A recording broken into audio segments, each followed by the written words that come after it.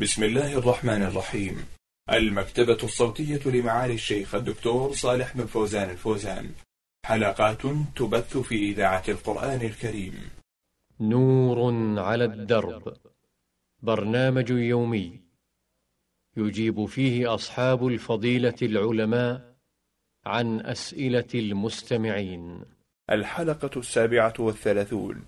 بسم الله الرحمن الرحيم الحمد لله رب العالمين والصلاة والسلام على نبينا وسيدنا محمد وعلى آله وصحبه وسلم مستمعي الكرام السلام عليكم ورحمة الله وبركاته وأسعد الله أوقاتكم بكل خير هذه حلقة جديدة مع رسائلكم في برنامج نور على الدرب رسائلكم في هذه الحلقة نعرضها على فضيلة الشيخ صالح بن فوزان الفوزان عضو اللجنة الدائمة للبحوث العلمية والإفتاء وعضو هيئة كبار العلماء. مع مطلع هذه الحلقة نرحب بالشيخ صالح ونشكر له تفضله بالإجابة على أسئلة المستمعين فأهلا وسهلا. حياكم الله وبارك فيكم. حياكم الله. أولى رسائل هذه الحلقة رسالة وصلت إلى البرنامج من الأمارات العربية المتحدة وباعثها مستمع من هناك أو مستمعة. المهم أن الرمز عين غين. في الرسالة أكثر من قضية القضية الأولى يسألون عنها كالتالي هل تجوز قراءة سورة قصيرة بعد الفاتحة؟ الفاتحة عند قراءة الإمام السورة القصيرة. أم نستمع لقراءة الإمام؟ جزاكم الله خيرا. بسم الله الرحمن الرحيم. الحمد لله رب العالمين. وصلى الله وسلم على نبينا محمد على آله وصحبه أجمعين. أما بعد وإذا كانت صلاة جهرية فإنه يجب على المأموم أن ينصت لقراءة الإمام ويستمع إليها بقوله تعالى وإذا قرئ القرآن فاستمعوا له وأنصتوا لعلكم ترحمون. وهذا في قراءة السورة السورة التي بعد الفاتحة لا خلاف فيه فيما أعلم. وأما في قراءة سورة الفاتحة هل يجب على المأموم أن يقرأ سورة الفاتحة؟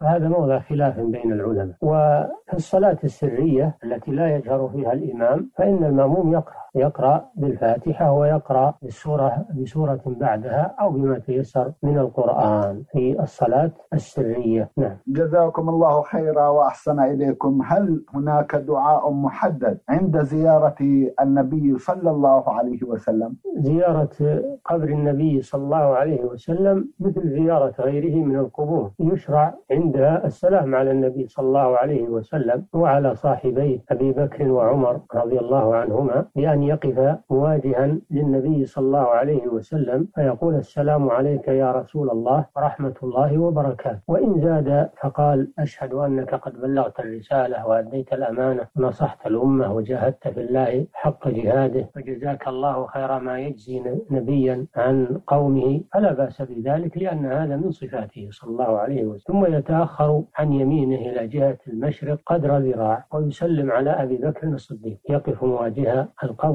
ويقول السلام عليك يا أبا بكر الصديق ورحمة الله وبركاته. ثم يتأخر مثل ذلك إلى جهة المشرق فيقول السلام عليك يا عمر يا أمير المؤمنين عمر بن الخطاب رحمة الله وبركاته. ثم ينصرف. هذا هو السلام على النبي صلى الله عليه وسلم وعلى صاحبيه. ويكون ذلك بخفض صوت ويكون بأدب ولا يجوز الدعاء عند قبر النبي صلى الله عليه وسلم. وإذا أراد أن يدعو فإنه ينصرف ويدعو في المسجد. في المسجد النبوي. نعم. جزاكم الله خيرا وأحسن إليكم. هل يجوز البكاء عند قبر الرسول صلى الله عليه وسلم؟ لا بأس بالبكاء إذا إذا بكى الإنسان عند قبر النبي صلى الله عليه وسلم أو عند قبر أحد والديه أو عند أي قبر من قبور المسلمين فلا بأس بذلك. إنما الممنوع النياحة ورفع الصوت والجزع. أما مجرد البكاء فهذا يأتي على الإنسان بغير اختياره.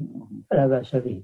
نعم. ما هو الكلام الذي يقال عند قبور السبعين الشهيد الذين استشهدوا في موقعة أحد. كغيرهم من القبور يقف عليهم ويقول السلام عليكم ورحمة الله وبركاته. السلام عليكم دار قوم مؤمنين وإنا إن شاء الله بكم لاحقون. يرحم الله المستقدمين منا ومنكم والمستأخرين. نسأل الله لنا ولكم العافية. اللهم لا تحرمنا أجرهم ولا تفتنا بعدهم واغفر لنا ولهم. نعم. جزاكم الله خيرا. مستمعا من القنفذة رمزت إلى اسمها بالحروف عين تسأل وتقول ما حكم شراء اللعب التي على شكل صور ذوات الأرواح المجسمة مثل الدمى العرائس وغيرها من الحيوانات؟ وكيف نتصرف مع الطفل الصغير الذي يصر على شرائها خاصة إذا رآها مع أطفال الجيران؟ الواجب أن يجنب الأطفال هذه الصور ولا سيما الصور العصرية الآن لأنهم تفننوا فيها وصارت كأنها أجسام حقيقية تتحرك وربما يكون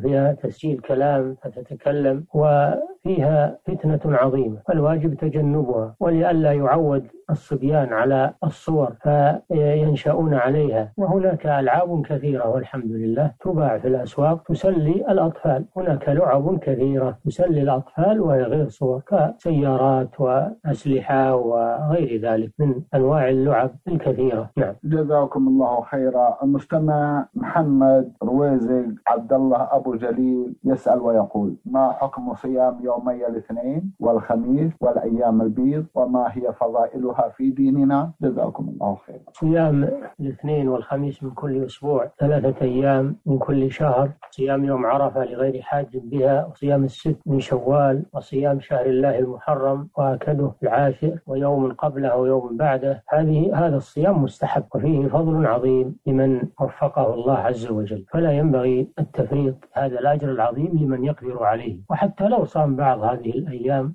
وترك بعضها فلا حرج عليه. وإن صامها كلها فهو أحسن وأتم وأكمل في أجره نعم. جزاكم الله خيرا وأحسن إليكم. أم مالك من الأردن بعثت برسالة وضمنتها جمعا من الأسئلة. في سؤالها الأول تقول إحدى النساء بلغت من العمر أربعين سنة ولكن في الحمل الأخير تعب جسمها ولم تقدر أن تؤدي حق البيت كالعادة وأصابها الآن الروماتيزم في يديها. هل يجوز أن تقطع النسل بعد تلكم الظروف؟ جزاكم الله خيرا. إذا قرر الأطباء أنها لا تتحمل الحمل وأنه يضر بها إضرارا بينا فلا مانع من قطعه. دفعا للضرر. قوله صلى الله عليه وسلم لا ضرر ولا ضرار. ولأن هذه ضرورة. فإذا قرر الأطباء أن في الحمل ضررا عليها فلا بأس بقطعه. إلا إذا كان ضررا يسيرا محتملا فلا تقطع الحمل. لما فيه من المصلحة والخير والذرية التي قد ينفع الله بها. نعم. جزاكم الله خيرا. هل يجوز لي تنظيم النسل بين الطفل وأخيه من ثلاث إلى أربع سنوات وذلك لاستكمال الرضاعة وراحة للجسم. جزاكم الله خيرا. هذا لا يجوز إلا عند الحاجة. إذا احتاجت المرأة في نفسها لأن توالي الحمل عليها يضعفها ويؤثر عليها أو احتاجته للأطفال لأنها إذا حملت وهي ترضع يتضرر الطفل ضررا بينا فلا مانع أن أن تأخذ ما يؤخر الحمل عنها إلى أن تستعد لاستقباله.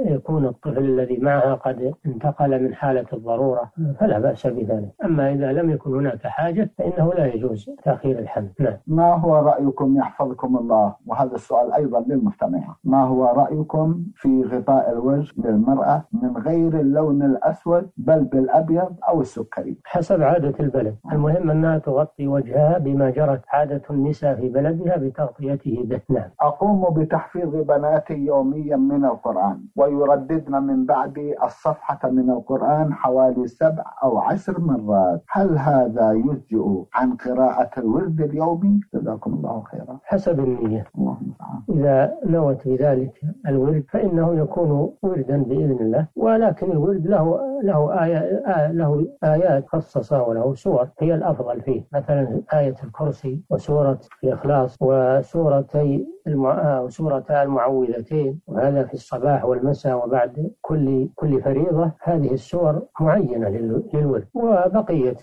سور القرآن وآية القرآن فيها خير وفيها بركة وفيها نفع للمسلم وحماية للمسلم. نعم. جزاكم الله خيرا وأحسن إليكم. من الزلفي رسالة بعثت بها إحدى المستمعات. تقول أنا أختكم في الله. ألف عين ميم. تسأل وتقول أنا فتاة عقدت العزم على حفظ على حفظ كتاب الله وبدأت فعلا بذلك. إلا أنني وبعد أن حفظت أربعة أجزاء أحسست أن عزيمتي قد فترت بعض الشيء ولم أستطع إتمام الحفظ هذا. وأنا ولله الحمد أجد سهولة في حفظ الآيات لكثرة سماعي لها عبر إذاعة القرآن الكريم. ولكني أجد صعوبة في مراجعة الآيات التي حفظتها. أرجو توجيهي إلى طريقة تمكنني من حفظ القرآن ومراجعته. جزاكم الله خيرا. الطريقة هي العزم والتصميم والصبر على المشقة واحتساب الأجر من الله سبحانه وتعالى. وكذلك اختيار الوقت المناسب الذي ليس فيه تشويش للفكر مثل بعد صلاة الفجر ومن الليل ما تيسر ولا سيما إذا إذا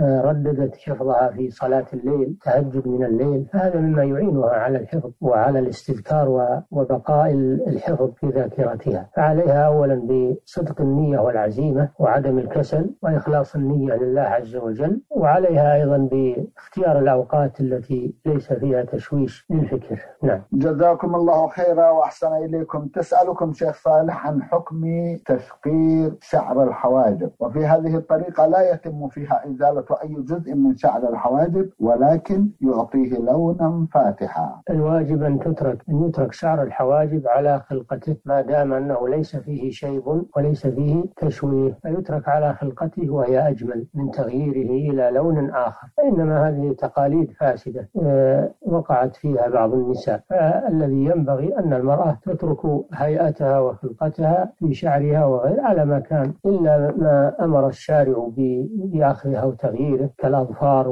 وشعر الأبطين والعانة. وكذلك شعر بقية البدن إذا أرادت أن تأخذه من سيقانها وذراعيها فلا بأس بذلك. أما شعر الوجه خصوصا شعر الحاجبين فلا يجوز العبث به. نعم. جزاكم الله خيرا وأحسن إليكم. ينتشر بين النساء لبس الكم القصير الذي يظهر فيه عادة المرفق وما فوقه. مع العلم أنهن يرتدينه أمام المحارم والنساء فقط. فما رأيكم في ذلك؟ هذا تدرب على السفور والمرأة لا تلبس عند النساء ولا عند المحارم إلا ما, ما, ما تكشف عند النساء ولا عند المحارم إلا ما تحتاج إلى كشفه مما تدعو الحاجة إليه ككفيها وقدميها ووجهها ووجهها وشعر رأسها الأطراف التي جرت عادة النساء بكشفها وتدعو الحاجة إلى ذلك للعمل أو تناول الأشياء أو أخذ الأشياء. هذا تكشفه عند النساء وعند المحارم أما كشف الذراعين وكشف الساقين كشف الصدر والثديين وما أشبه ذلك فهذا من بداية السفور والتساهل بالحجاب. أيضا لا داعي له وفيه فتنة. ربما أن بعض المحارم من الرجال يفتتنون بها وهم محارم. لا تؤمن الفتنة إذا رأوا شيئا من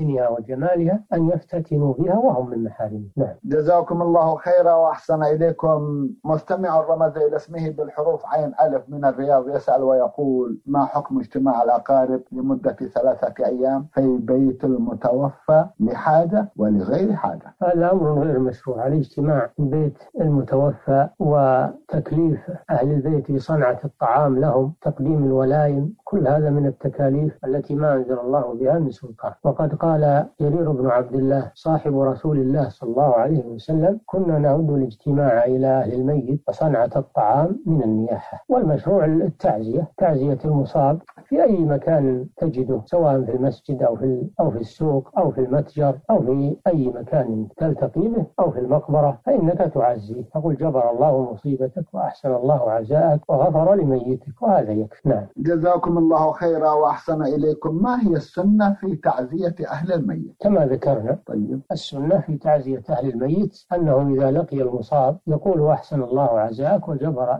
يعني يسلم عليه أولا ثم يقول جبر الله آه، مصيبتك وأحسن الله عزاءك وغفر لميتك. إن كان ميته من المسلمين فيقول غفر الله لميت. وأيضا من العزاء المشروع تقديم الطعام لأهل الميت إذا احتاجوا إلى ذلك. إذا كانوا يحتاجون إلى أن يقدم لهم طعام فإن جيرانهم أو أقاربهم أو أي واحد من المسلمين يصنع طعام بقدر حاجتهم ويقدمه إليهم. لقول النبي صلى الله عليه وسلم اصنعوا لآل جعفر طعاما فقد جاءهم ما يشغلهم. لما استشهد جعفر بن أبي طالب رضي الله عنه. نعم. جزاكم الله خيرا. ما حكم المعانقة في العزاء للرجال؟ المعانقة إنما تكون لمن قدم من سفر سواء في العزاء أو في غيره لمن قدم من سفر. أما من لم يقدم سفر فيكفي المصافحة. نعم. لبس ملابس مبتذلة بالنسبة للنساء وأيضا تخلي الرجال عن بعض ما كانوا يتحلون به في وقت العزاء. ليس للعزاء ملابس خاصة وإنما الناس يكونون بثيابهم العادية. وأما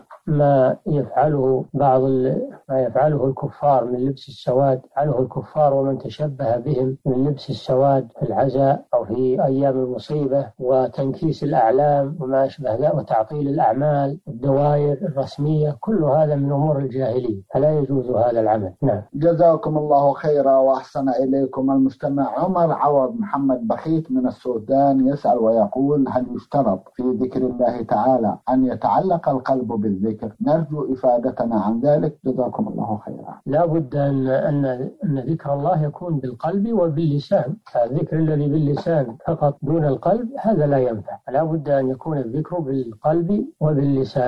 نعم. جزاكم الله خيرا وأحسن إليكم بعد هذا رسالة وصلت إلى البرنامج من أحد المستمعين. يسأل فيها جمعا من الأسئلة. في أحدها يقول نرجو من فضيلة الشيخ أن يزودنا بتفسير كامل عن الطمس والحيض والنفاس وما هو الفرق بينهما وما هي كيفية طهارة المرأة بعد الولادة وهل عليها قضاء صلاة خلال فترة ولادتها الأربعين يوما. جزاكم الله خيرا. الحيض معروف وهو الدم دم طبيعة وجبلة ينزل على المرأة في أيام معتادة. هذا هو الحيض. وتترك من أجله الصيام والصلاة. ولا يجوز لزوجها أن يجامعها في الفرد وهي حائض. ولا يجوز له أن يطلقها وهي حائض. وكذلك النفاس هو الدم الذي ترخيه الرحم بسبب الولادة. ولا حد لأقله. وأكثره أربعون يوما. فتترك من أجله الصلاة والصيام. ويحرم فيه ما يحرم في الحيض. يحرم فيه ما يحرم في الحيض وإن انقطع الدم قبل الأربعين فإنها تغتسل وتصوم وتصلي. فإن عاودها الدم قبل الأربعين فإنها تجلس. وما صامته وصلته في فترة الطهر المتخلل فهو صحيح. نعم. جزاكم الله خيرا وأحسن إليكم. ما كان عن الطمس الطمس لا أدري ما معناه إلا إن كان أنه الجماع.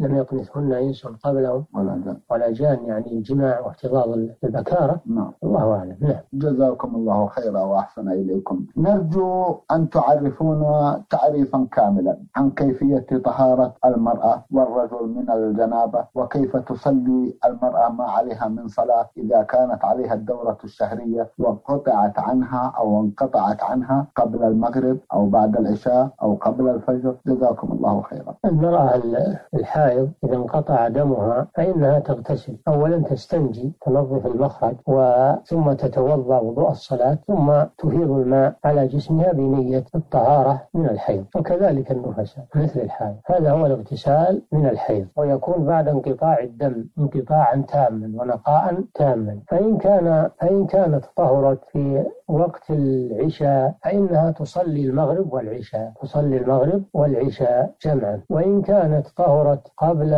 غروب الشمس فإنها تصلي الظهر والعصر هذا هو الواجب عليها وأما الرجل الذي يغتسل من الجنابة فأيضا مثل ما ذكرنا يستنجي نعم. يغسل فرجه نعم. بالماء ثم يتوضأ وضوءه للصلاة ثم يفيض الماء على جسمه ثلاث مرات والواجب مرة واحدة تعم الجسم وإذا أراد الكمال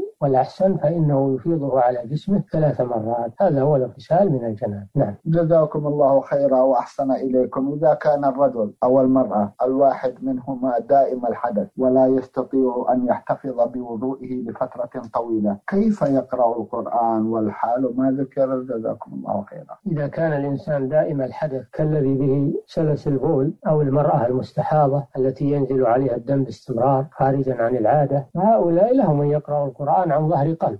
أما القراءة من المصحف فلا تجوز إلا إذا كان من وراء حائل أما لمس المصحف مباشرة فهو حرام. قوله صلى الله عليه وسلم لا يمس القرآن إلا طاهر. فإذا قرأ عن ظهر قلب فلا بأس. وكذلك إذا قرأ من المصحف لكن من غير أن يمسه مباشرة بل من وراء حائل نعم. جزاكم الله خيرا. هل يلحق بصاحب السلس وبالمستحاضة؟ ذلكم الذي يعاني من انطلاق الريح. جزاكم الله خيرا. سواء بسواء. الذي لا يمسك الريح دائما. نعم. هذا حدثه دائم مثل من به سلس ومثل المستحاضة. جزاكم الله خيرا. حجيت عن والدي منذ ست سنوات حجا مفردا وقمت بطواف الإفاضة ولم أسعى بسبب عدم معرفتي. ولما عرفت هل أقوم بالسعي في هذه الأيام وهل علي وزر وهل الحج صحيح جزاكم الله خيرا وأحسن إليكم. الحج صحيح ولكن ولكنه لم يكمل. باق فيه السعي. فعليك أن تعود وتأتي بالسعي.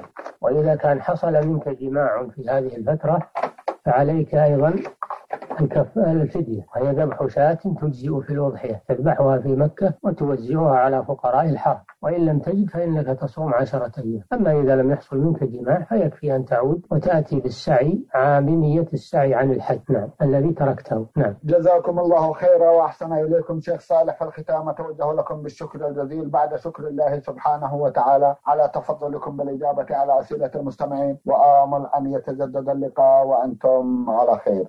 مستمعي الكرام وكان لقاؤنا في هذه الحلقة مع فضيلة الشيخ صالح بن فوزان الفوزان عضو اللجنة الدائمة للبحوث العلمية والإفتاء وعضو هيئة كبار العلماء. شكرا للشيخ صالح. وأنتم يا مستمعي الكرام شكرا لحسن متابعتكم. ونحن نرحب برسائلكم على عنوان البرنامج. المملكة العربية السعودية الرياض الإذاعة برنامج نور على الدرب. مرة أخرى